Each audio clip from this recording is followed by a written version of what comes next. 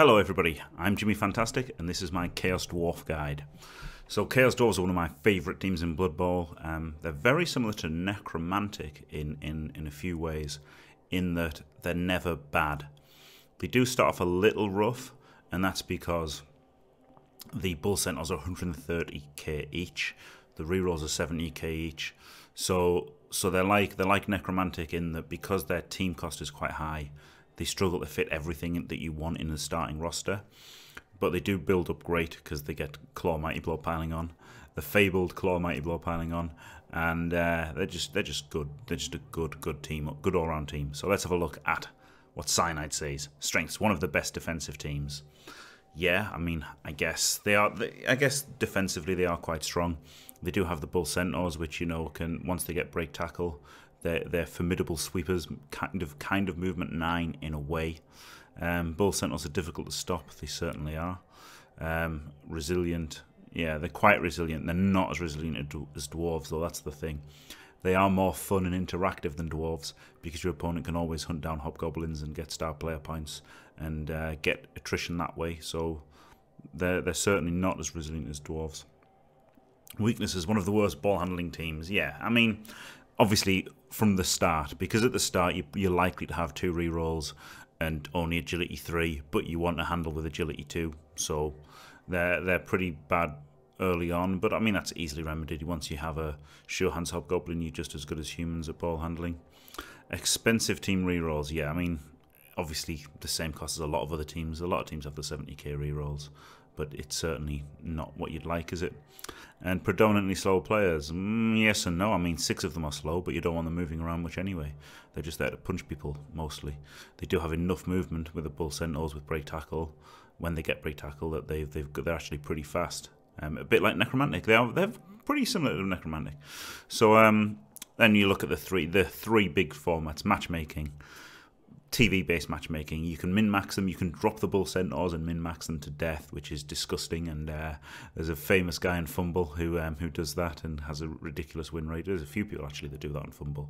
Just go, just drop the bull centaurs completely and, and, and you know, have Claw Mighty Blow piling on on three or four players. And, and you know, it's a bit lame. I've done it in the past, I'm not going to lie. It is a bit lame. But um, you, you can do that, and it's obviously very, very TV efficient then. Um, in tabletop, they're not so good. In tabletop, you'll see people going for a Minotaur, for maybe a Claw, a Claw Minotaur and stuff, to get a little bit of you know attrition going for them because they're a bit. They're good in tabletop, but they're a bit. I don't know. They're just a bit. They're a bit lacking, I think, somewhat in the in the NAF style tabletop events. And then you've got like short kind of leagues or even long leagues, whatever league play. They're I think they're up there with Necromantic and Dark Elves in that they are durable and they're never bad.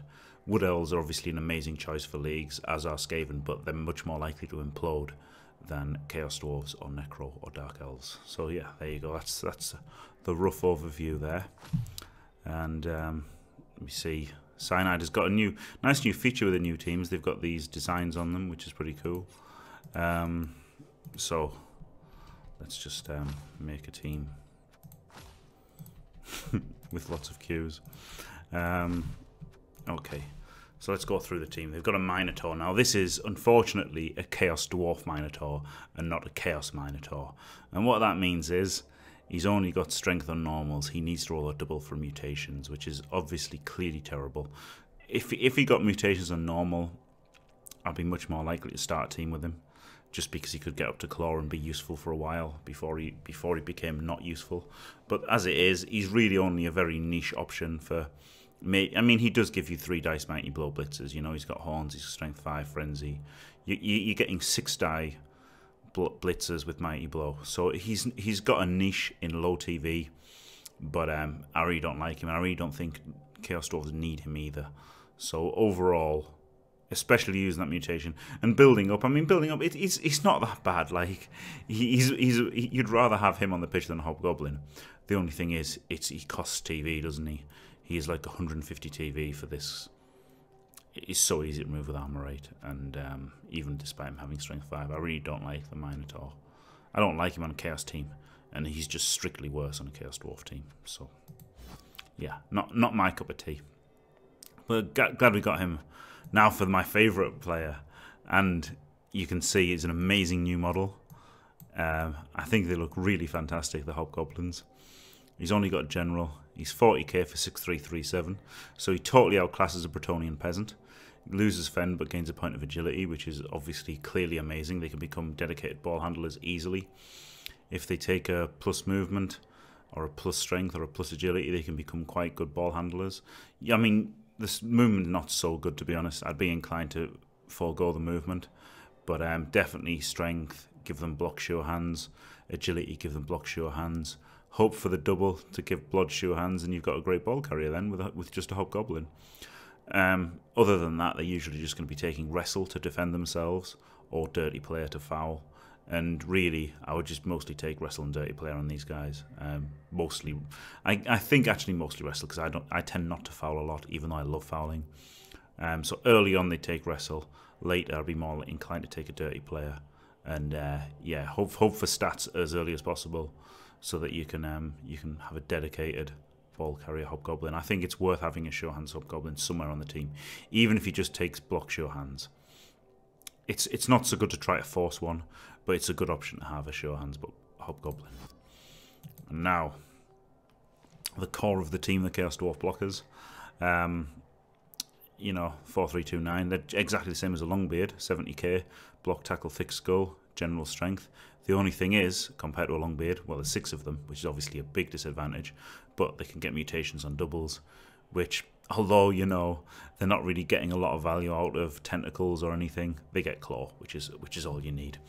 So, and here's a bit of here's a bit of contention, right? They're better with guard as the first skill.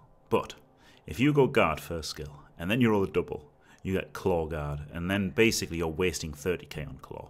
Because Claw Guard is a really bad player, you know? You want your guards to be supporting blocks, and you want Claw Mighty Blow to be making blocks, and you want Claw Mighty Blow piling on. If you go Guard Claw, it's that much longer to get Mighty Blow, and that much longer to get piling on. So what I tend to do is I tend to go Mighty Blow first on nearly all of my Chaos Dwarves. Maybe four of them will go Mighty Blow first, and then the other two will go Guard first. But I think guard is better. So in stuff like a NAF style tabletop event, they would all go guard.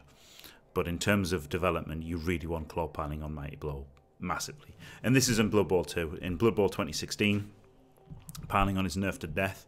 So in that case, I'd probably go guard first on them. So yeah, skills wise, they just want Mighty Blow, guard, piling on, claw. I'd even go Mighty Blow piling on a couple of them straight off the bat. Mighty Blow, guard, piling on, claw, on doubles. You could go dodge. You could maybe go stand firm. I think fend's okay for them. Once you have a claw pommer, mighty blow claw piling on. Frenzy's a nice option to have, but you might want a frenzy bull, in which case you don't really want two frenzies on this team. Strength three can get them into trouble. You could maybe take Dauntless Frenzy or Juggernaut. I mean, Jump Up's obviously great, but only after you've got... Because they are movement 4. This is the thing with Chaos Dwarves. This is what stops them being broken, really. If they if they were movement 5, then the Claw Mighty Blow on them would be a lot better, Mighty Blow piling on. But movement 4 does limit them somewhat. Stats-wise, obviously you take Strength.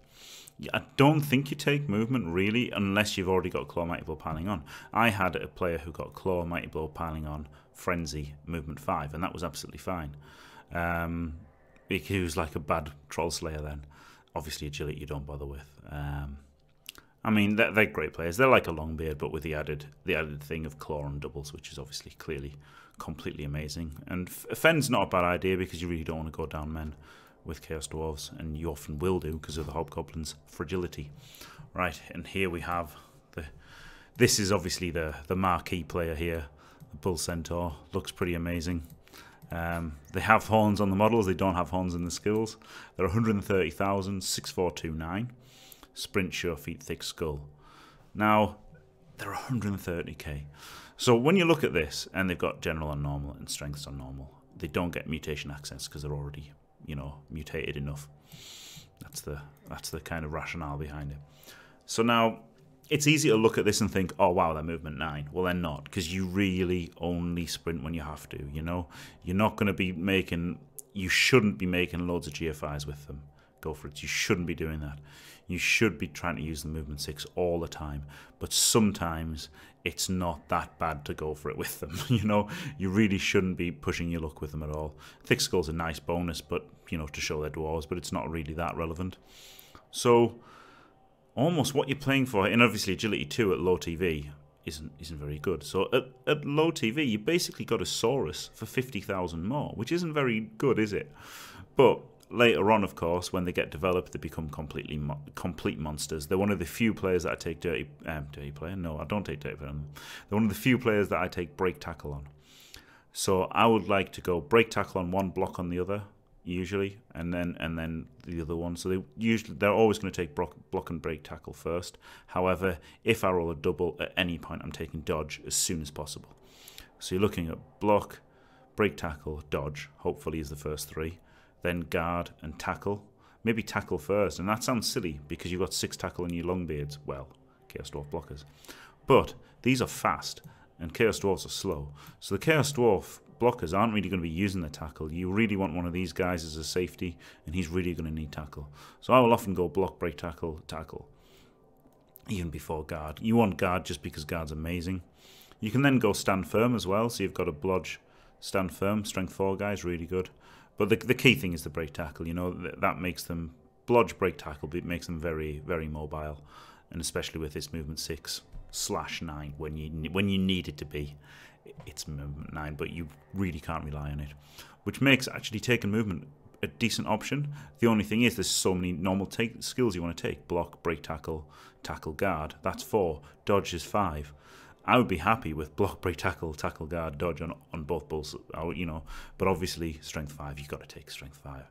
If you get agility three, then you could take agility three and give him sure hands. You could even give him sure hands without the agility three, because a strength four um, blodge carrier is something very hard to deal with.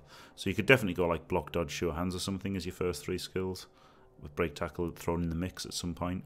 It's definitely something you could do, sure hands on the bull, on the bull centaur, but I really prefer to uh, carry with a bull centaurs um, when I can to skill them up, but try to develop a ball carrying hobgoblin. And also a key thing is is to know when to use at low TV when to use your bull centaurs as expensive black orcs, and it happens sometimes. You know, it's it's really hard. It's kind of tough for chaos dwarves at low team value, especially against like orcs and um, chaos and Nurgle even sometimes because just being a, a bash team, being out strength, isn't very good. But if you throw these guys on the line and carry with a hobgoblin, then you've suddenly got two bull centaurs, you've got two, you've got two black orcs, and you've got six dwarves, and and that's a pretty bashy matchup, really. So um, here's I'll have a look at two teams I made earlier. Um, we've got the, this is the build that I almost always run, and um, basically you've got the apothecary there because the worst thing you can have is losing a bull centaur early to like a cas you got two at Kaza permanent casualty, two team rerolls, six blockers. I think you have to have the six blockers and three hobgoblins. Now, if this was matchmaking, I probably wouldn't have the apothecary and I'd have the twelfth hobgoblin because saving your apothecary for permanent injuries to one of these eight, while is fantastic, you know this is what I'd use in a league because I would want to use my apothecary only on a permanent injury on these eight. However, in a one-off match, you'd be better off using the, the apothecary on like the first knockout or the first badly hurt or whatever. So I think if it, if it was for like matchmaking, I'd be tempted to drop the apo and have a 12th player as a hobgoblin, and then you'd have 20k towards the apothecary after your first match. However, in a league, I would always want that apothecary because just losing a bull is is the worst thing imaginable, and losing a chaos dwarf blocker isn't isn't very nice. But I, I pretty much always exclusively use this lineup when I'm starting a team. However, if two if two rerolls isn't your thing, you could of course drop a drop a chaos dwarf blocker to get it. But what I prefer to do is I prefer to drop the bull centaur because much like necromantic teams, he is a bit overcosted without skills. He is he doesn't really get to use the sprint and the sure feet that much. The thick skull isn't that relevant at low team value. The agility 2 might as well be agility 1 almost. So you're basically almost paying 130k for a Saurus, as I said. So, but then if you only have one, then obviously it's he, he gets skilled up faster because he's the one getting all doing all of the bull centaur stuff by himself. Once he gets block, he becomes a much better player. Break tackle, then you can add the second one. Just save up for the second one. I think the Chaos Dwarves exerting their influence on the match is, you know, I I would much rather have six six CDBs than five CDBs. Um, although I can't speak very good. Right. So yeah, I, I don't like this one, but you do get the three rerolls, which you know this is the thing. Three rerolls is fine because you've got or two rerolls is fine because you've got six blockers, but you do need those rerolls to pick up the ball and stuff. And I don't know. I can see why you would want three rerolls for a bit more reliability. And you know, you could go two bulls and only five um, five chaos dwarf blockers. I can see that. It's just not something I do. Like this this one here. If you drop this apothecary here, you've got fifty thousand, haven't you? Drop this chaos dwarf blocker down to hobgoblin, and then that gives you the third reroll. But um, I just I just think I don't know. I just I prefer the more powerful route, definitely with Chaos Dwarfs. I definitely think they want all these. You want as few Hobgoblins on the pitch as possible. So I don't like starting with three rerolls anyway. I would I would pretty much always use this one just for the get max power, minimal minimal Hobgoblins, and try to get these bulls skilled up as fast as possible to become one of the best players in the game. So um, there you go. That's it. Thanks for watching. If you enjoyed it, don't forget leave a like and subscribe, and stay fantastic.